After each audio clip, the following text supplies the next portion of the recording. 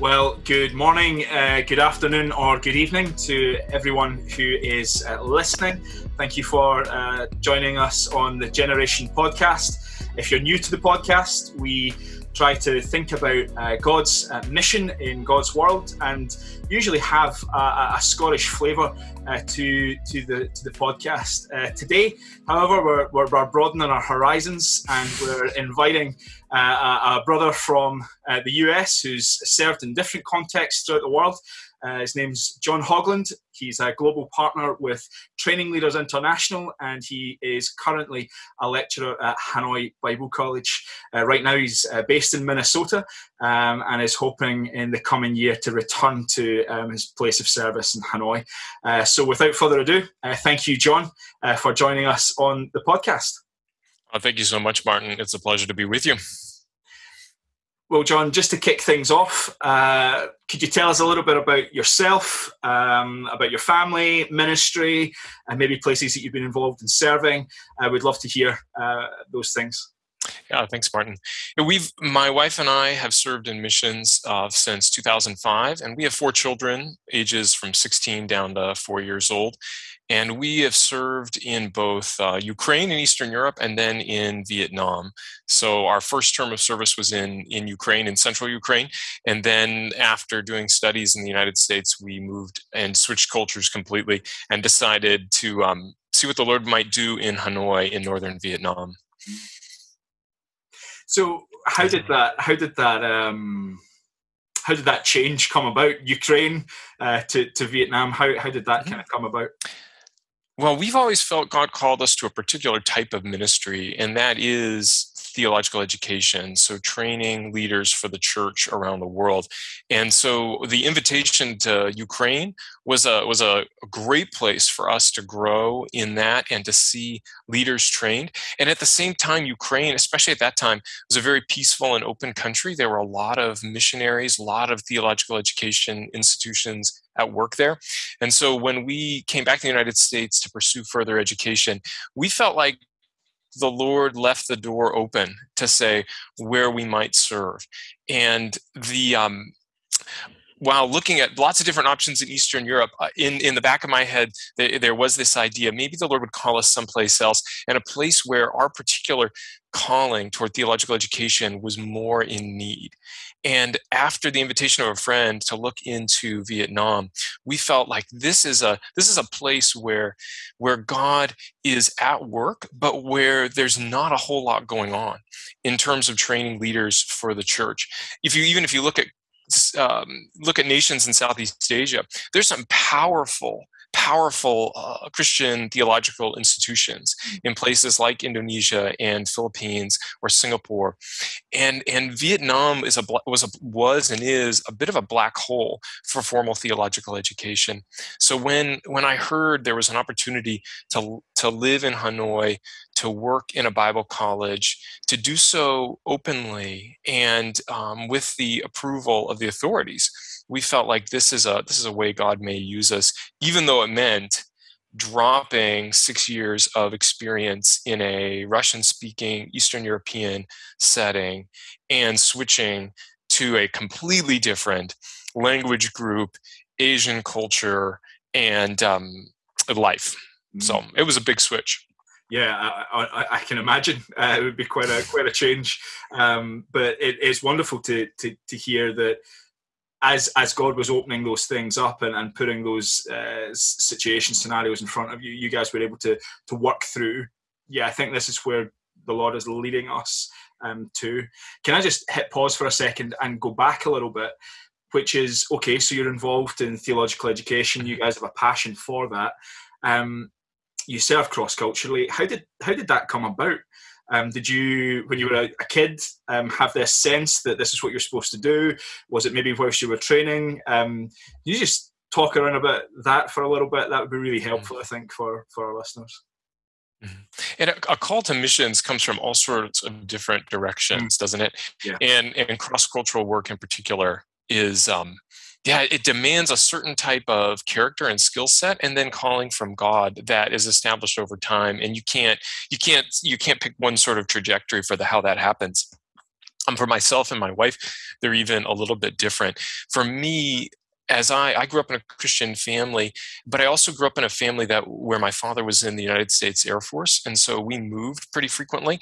Uh, so I was born in the Netherlands. We lived in Japan and several other places around the United States, and so so the idea of cross of living in a different country or cross culturally was on my radar screen pretty early.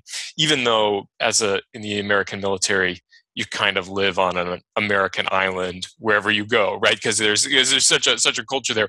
But the idea of being uh, of being of living cross culturally was at least an open option from the beginning. And as I grew in the faith in uh, as a as a as a young man. I felt I felt definitely a call toward ministry and whether God might use me in preaching and teaching. And then as I went to my undergraduate studies, I found a real love for studying the Bible and particularly the biblical languages. And in that, I hadn't clarified whether that would be in a pastoral role or in something different. And as I went on to a um, to a master's degree program, um, I I felt I felt a I felt a, a burden to say the the need is great for cross cultural theological education around the world and and i might be suited for that and perhaps god would call me to that type of ministry. And so then then through a through a recommendation of a of a professor who said i have a friend in ukraine. He'd really love somebody who could teach hebrew. Why don't you give him a call? And so i did and thought this is this is the sort of opportunity i uh, i was i felt the lord was leading me toward where where my particular desires and gifts and um, c- could be used for the sake of God's kingdom in a in a in a way that that, that yeah that's very particular. Namely for for so i went went as a thinking i'd teach hebrew never never actually did that taught a whole bunch of other different things. Um, the it's, the the, the case, isn't it? That's that's yeah. really the way. yeah, the the guy who invited me actually left left that field shortly after I arrived, and so the so our our sort of network changed a little bit. But Lord had provided us a great team. My wife and I um, uh, actually got married in preparation before we before we moved overseas. She had been she had desired to do missions work for a long time and had grown up hearing a lot of missionary biographies and was really enthusiastic about God's work around the world. And so when um, when we came together and we fell in love, that that was a that was a natural direction for us together. And so all those things, eh, you know, joined together and pulled us to Ukraine, and we we were we were just overjoyed by what the work that was ongoing and that we could step into and help with the the Eh, eh, since eh, from the fall of the Soviet Union in the late 1980s, there, there really was a, a, a wave of theological education in Eastern Europe mm. in a place where it had been maligned or put underground or made very difficult. And so through the 90s, early 2000s, there, there was a strong surge of people eager to get um, deeper biblical education and even for uh, pastors and churches to figure out how they were going to train their leaders. And so we were able to be involved in that there in ukraine uh, until until 20, 2011 mm-hmm. yeah so that was the call for us into into missions. It's, it's nice i think um, just even personally to, to, to hear that there were a number of different factors uh, and and from my experience, limited as it is, uh, of other people who have been taking that journey into serving cross culturally, um, it tends not to just be this bolt completely out of the blue. It is the the, the build up of what they hear preached in the word, what they read in uh, God's word, uh, different different aspects of of life and the way that God is leading them, drawing them together. Um, and I think that's something to encourage people with as well. I'm sure you'd agree with that. That it, it, it, may not be this one big moment that that, that really uh, sparks um, that call to cross cultural mission. It can be a, a leading of God over a, a, prolonged period of time, and and just that really clear. Uh, deep understanding that you know God deserves to be glorified amongst the nations, uh, he will be, and that you know there's a part for people to, to, to join in that process. Maybe not all as theological educators, but yeah, well, uh, well, and however that may, however may God may lead in that, but the the recognition that I don't I don't have to wait for mm. a a sovereign lightning bolt. Yeah right that god's leading can be done in in so many different ways that that that you know appropriating the the people around us our sense of God's purpose in the world, our desire to be involved in what He is doing, because that because we because we trust like that's that's the most crucial thing. I remember I was I was asked to speak on this. I mean, as a very young man, and I was really impressed by by Isaiah 52 um, on how beautiful on the mountains are the feet of Him who brings good news and and as I, I, eh, as I was thinking through that, you this this idea that that the feet of those who bring good news are genuinely beautiful, and actually significant, that that astounded me and so i was i was reminded of the the story of the of, of what could be called the first marathon but the the story in greek history of the runner who who runs to tell the news and and then dies you know in dramatic form a- after the the defeat of the persians at the battle of marathon runs back to athens at 26 miles. And the the the fascinating thing about that story is that the the the the account of it is is quite late the you know so in herodotus who's contemporary to the battle not contemporary to but but uh, shortly after the battle of marathon he uh, doesn't include that story. And and so the only the instances are a couple hundred years later. So at least it makes us question you know maybe maybe it's not actually maybe it didn't happen quite in that way. And so when I uh, when I think about that the, the this person bringing good news and how beautiful are those feet, the natural story I want to think of is this one from from Greek history, which may not even be true. And so it it, it struck me that that when God promises us that He is actually at work in our gospel proclamation by the power of His Spirit and because of the sufficient work of His Son, we can have confidence that that our labor is not in vain right? That he is with us in that in a way that surpasses even what we might call great historical events in in history. That that to me is uh, yeah it's such a reminder that we if we have the eyes to see it as god sees it then then then he is he he, he is there and he's promised to be there yeah. nice john that's a really great encouragement um, I'm sure for all of us that are listening. Um, you, you guys, at the very beginning, uh, I was saying you guys are global partners with TLI, uh, Training Leaders International. Do you want to just fill us in a little bit about that organisation? Um, where are they based? Uh, what do they do? Um, and how long have you been part of that ministry? Yeah, so Training Leaders International has existed for just 12 years now. So we're a relatively new organization and we're dedicated toward the task of theological education for the church. And so we point out that 85% of, of pastors in the world have no formal theological training.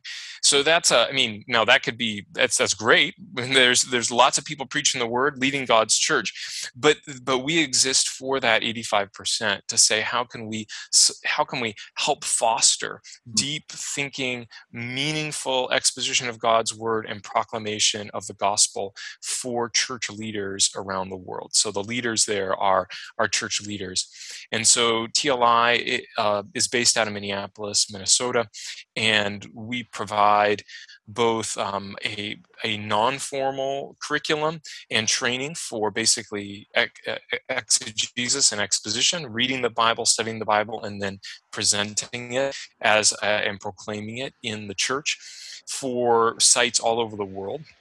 And then also we, on the second side, we we we help start and facilitate quality theological institutions. Mm. Some of those are church based, where a group of churches wants to be really intentional about the training of their leaders, and Training Leaders International can help provide some of that expertise. Others, in, in other cases, it is having resident cross cultural workers work within a school in a given location. And so that's the sort of work we do in Hanoi, where um, Hanoi Bible College is a is set up by the denomination in Vietnam. And as, as Training Leaders International, we come in with them to help advise and then teach and, uh, and, and and bring in the the, the formal academic element Mm. to a uh, to a theological institution. that's that's really nice to, to, to hear about that. As as a, a denomination, uh, many people who are listening to the podcast will uh, be uh, those who are, are part of the Free Church of Scotland. As a denomination, these are things which really align with our vision of ministry and cross cultural mission to be involved in church planting and theological education. And it's just really nice to to hear of another uh, organisation uh, in the world um, that are looking to do that and, and align so well with um, with that vision that we we hope to partner in uh, going uh, going forward. Um, it's, Mhm. it's just nice to hear about that. Um, what I'll do is uh, maybe put up. Uh, a link in the episode notes um, to TLI, and it Yeah, means that people can follow up on that uh, as well. Um, I'm going to change tack a little bit. Um, we've done a bit about chatting about past, how you got involved, TLI, etc. Um, both of the places that you've you've served in, either previously in the Ukraine or presently uh, in Vietnam, are uh, places that have had communist influence. Uh, and I was just wondering if you could maybe speak to what are some of the unique challenges that you can identify from those contexts, um, Mhm. and maybe as a subsequent subset question, uh, are there any lessons that you've learnt from being in those sorts of contexts that would really um, helpfully apply into um, the, the, context of, of churches in, I don't really like the term Western world, but you know what I mean, like in, in Mhm. UK or in, in North America? Absolutely, thanks, Martin. The, the, the, they are both. They both each have a communist history, and that does flavor the sort of ministry we do there. It's interesting. Ukraine and Vietnam are also sort of little brother countries next to much larger, culturally similar countries. So I don't know if if that's uh, says something about our character that we ended up in these two places. But the the the post the communist background and the uh, the little brother complex are both there. The um, so uh, one thing you notice actually is, is is some of the even architecture. So the in Ukraine and Russia they have these five-story apartment buildings called Khrushchevskis from the time of Khrushchev that are very very um, bland and extremely tiny apartments, and originally had sort of communal kitchens and these sort of things. And I was, you know, sup- not surprised, but uh, you know, you arrive in Vietnam in Hanoi, and then in some of the older sections, they have these very similar uh, buildings. So you have this influence. Um, in fact, one of our first months there, we walked into a pharmacy, and the lady started speaking to us in Russian. This is a Vietnamese woman, and so I went, well, I mean, I, I do understand Russian. I can I can respond to you in Russian, even though I'm trying to learn Vietnamese, and realized that she was someone who had, you know, 30 years ago had spent time in the Soviet Union and who spoke Russian uh, from that. So you have that influence. In fact, many Vietnamese believers were actually came to know the Lord by being outside of the country. And in the 80s and early 90s, that was primarily um, uh, communist or post-Soviet countries such as East Germany or in uh, in in Russia. And so there there is an interesting connection between those two parts of the world. In fact, uh, Nha Trang, a, a city in southern Vietnam, is really full of Russian tourists every I mean every season of the year because it's a beach town and it's sort of like the designated um, place where Russians go for for getting away to the beach in uh, in in Vietnam. So we have that sort of a connection. The and there are some similarities between the culture on the on the on on one side just like many of the post-soviet countries moving away from the very authoritarian hierarchical uh, soviet way of practice of soviet governance in the 20th century leads to can bleed into kind of hierarchical authoritarian forms of government in all of life including church life. And i think that's a i think that's a, a common feature that can be a challenge. Mm. the idea to to and, and this would apply to both of those cultures very broadly to bring in people into a discussion where there's critical evaluation and constructive criticism is is still a lingering difficulty given the history of top down directive only um, you know command oriented leadership styles. So that i think that's actually similar in both of those countries to some extent. Mm. That said, they've also had two very different histories. Uh, Vietnam still has the Communist Party as the, the leader and considered the driver of, of the country. And um, and Ukraine doesn't. Uh, Ukraine watched that sort of slip away, entered into a period of relative chaos, and emerged with a new sort of foundation that's a bit different.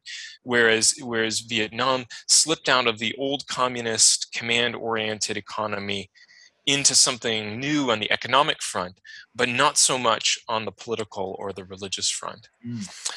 So, one thing I would emphasize about the church in particular in both of those places was that the church in Ukraine the, the Baptist churches we worked with and then the Evangelical Church of Vietnam are very aware uh, of how a congregation meeting to to worship Christ is a political act.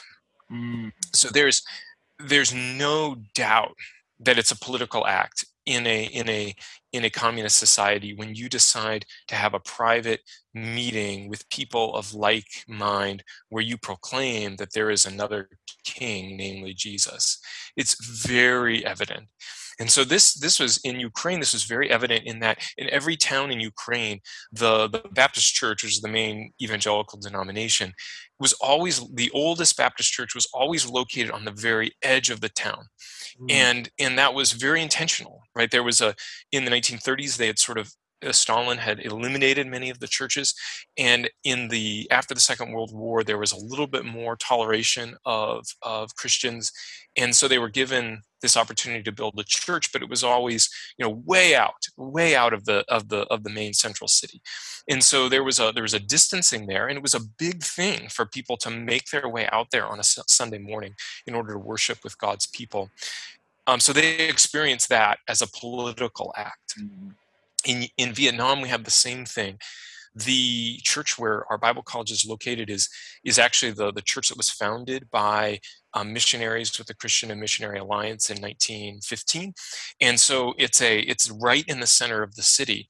And and yet it's um it's just sort of surrounded and this one little one little um, nook in the midst of the city and it remains a very um, you know visible um, you know indicator that there is a church right here. Mm-hmm. and that's significant. I think there are only probably four maybe maybe four um, protestant church buildings in in hanoi proper.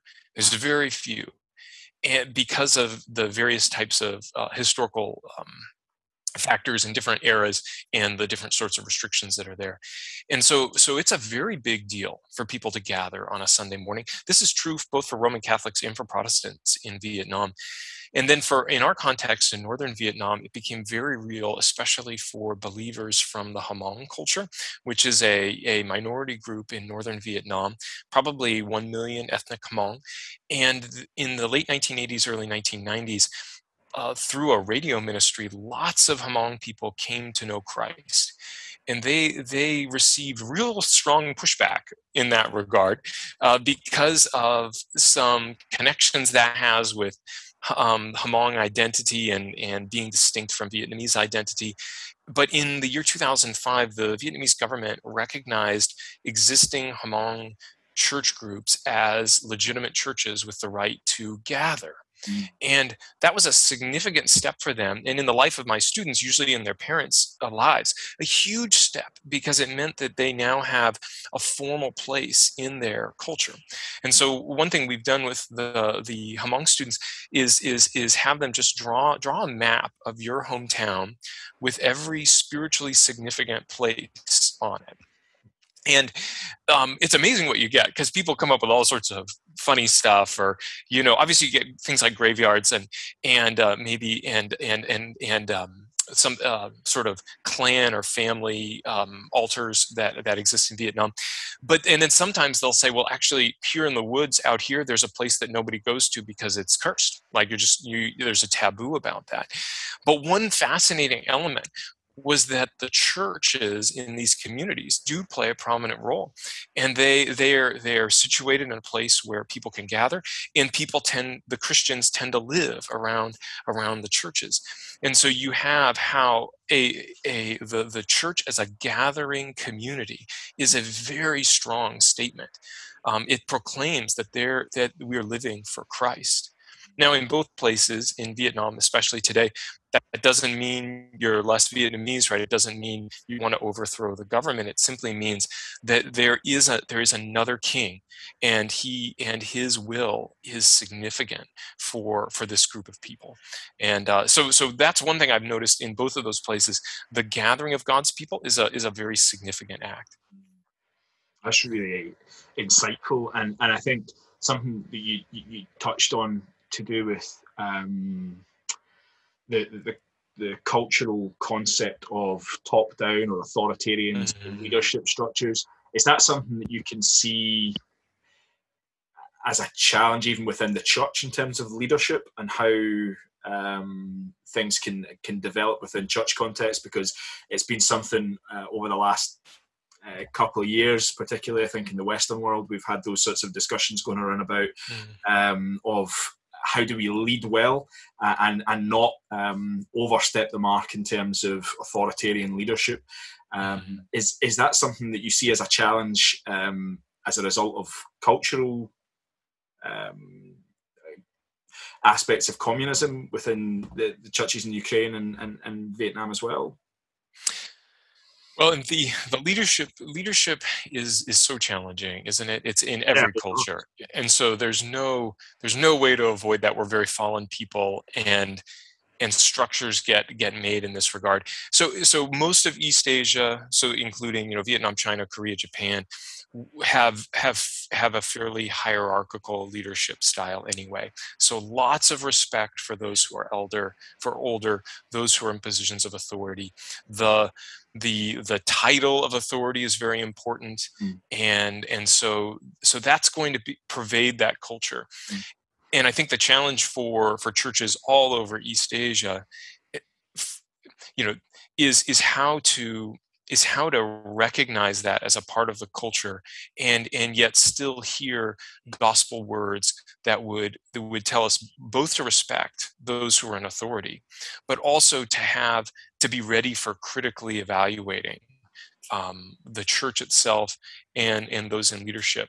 And and so i think what we want to teach especially for students is that is that really justification by faith helps us with that a little bit mm-hmm. in that as eh, if we are constantly reminding ourselves that we're sinners saved by grace that will push us to a type of vulnerability that doesn't demand doesn't demand unconditional respect mm. from from other people because we recognize before god uh, we, we don't deserve that while also saying honor your father and mother is in there respect your leaders obey your leaders right these are all in this in scripture and so the the blessing of a of an east asian culture and vietnamese in particular is that that that people are willing to say you know this may be a time when i need to follow mm, and yeah. they're okay with that yeah. Yeah. and and recognize you know i disagree with the leadership decision but it was it was made and so i need to adjust to that and so i i want to i want to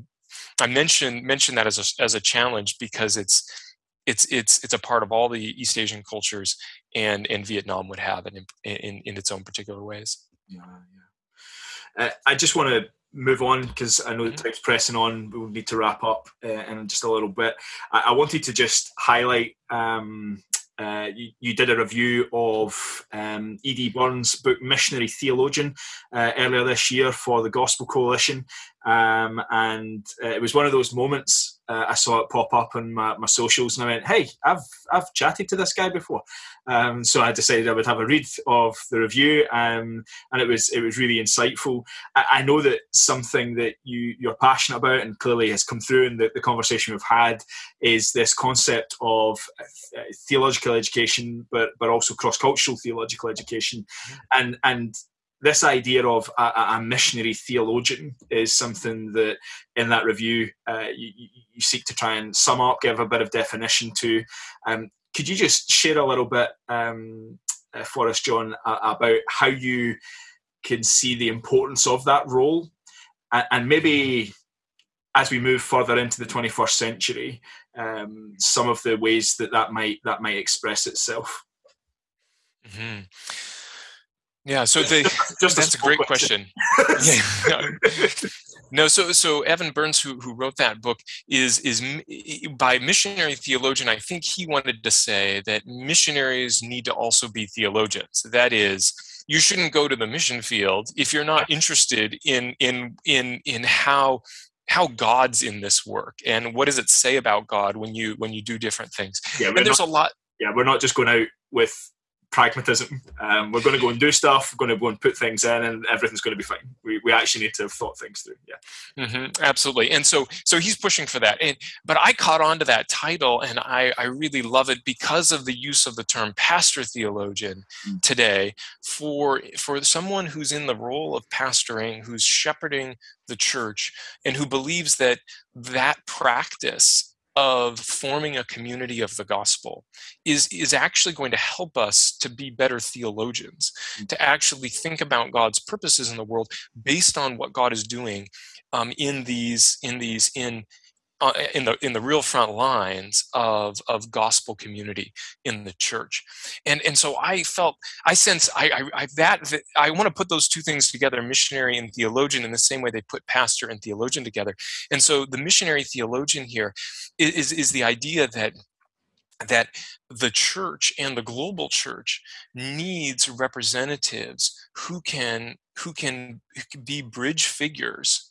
Mm. among v- various things, both culturally, that's what missionaries are often doing, but also theologically in bridging gaps between sort of the practice on the ground of a certain place and the larger discussion of what God is doing in the world and how that's shown to us in Scripture.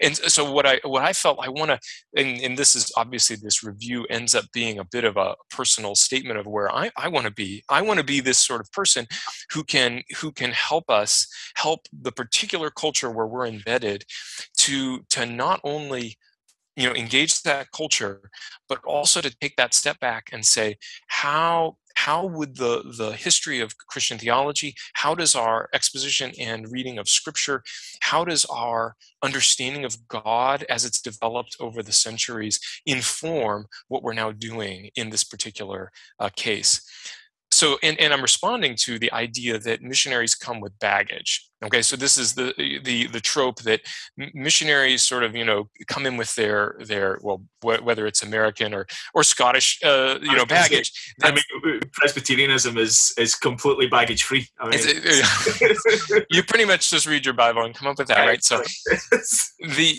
um yeah so they, they come in with baggage. And, and and i had heard someone use them you know question that metaphor and, and and I want to as well because because in reality when we travel baggage is actually the things we deem essential to take with us. In fact when we our family moves to Vietnam you know with a limited number of suitcases. Every time we have to say well we can't take everything and you know I have to tell my daughters like you can't take 30 stuffed animals. It's just not going to fit in the bag. It physically will not go. In there or, or my older daughter no you can't take you know 10 three inch books like you know uh, novels and things that you, like you have to read the kindle version we cannot take that many pounds with us um, in the same way a missionary does bring baggage with them, but the things you bring with you, if you are self critical and recognizing this, could be that which is helpful and essential. And so we want to carry with us we, we want to bear with us the tra- a tradition in a low t you know low, lowercase sense of tradition that which god has passed on to us through the church and through uh, through the centuries. And so the missionary theologian is, is not just a baggage handler hopefully but right somebody who who will who will uh, dive into a new culture and yet have one foot that's out that says, hey, let me bring together and bridge gaps here between cultures, times, epochs, theologies, and those sorts of things. That is fantastic. Um, and it's, it's really nice as well. I'd never really thought about it like that. That um, well, I, I'd thought about it, but not in the way you phrased it about being people who bring baggage, but that being good baggage. Um, that's that's that's super. Um, and it's something that, regardless our context, actually is something which is applicable. I mean, we might move mm-hmm. somewhere within Scotland, we might move somewhere within Europe or another part of the world, and you know the way that God and His providence has worked in our life um, may well have shaped us in specific ways, and the mm-hmm. tradition that we've grown up through um, uh, shaped us in specific ways to to be a blessing um, to those who don't yet know Christ, but also to to, to those who do, and to see them grow and uh, and uh, serve Him uh, in His world. That's a really nice way to to think about it. So it's okay if we take our baggage uh, as long as it's the right. well, you know, you need to, yeah, you need to, you need to check your baggage very carefully, right? This is not a, uh, yeah. a lot of mistakes have been made in, in bringing the wrong sort of baggage. You, you know, the, those who bring their their concealed weapon on the plane or something like that. So we want to. Yeah, that tends not to end well. That's super. Well, Jon, um, I think we're going to need to wrap up um, just now. Um, but one final thing that we need to say is that just before we started this conversation, uh, Jon was getting excited about the fact that I have some Star Trek models behind, me. and we have both said uh, that Deep Space Nine is definitely the best Star Trek series to watch. So maybe over the Christmas holidays, that's something that both of us would recommend. You can get a chance to watch that. Um, now, after my advert's gone, um, I'll put some links uh, in the the, the, the episode notes uh, below the podcast um, for the review uh, that Jon has done on um, Barnsley's missionary theologian and also to, to Training Leaders International as well. Um, Jon, thank you so much for taking the time to, to chat with me uh, and to share with our listeners. Um, it's been a it's been a great privilege to, to hear from you and to hear what your family are involved in and what the Lord's doing through you guys. Um, may you know His blessings as you you move forward and as you look to the future. Um, and um, from me, um, Martin Paterson, your host uh, today, I'll sign off this episode of the Generation Podcast. Thanks for listening. Okay, thank you so much, Martin.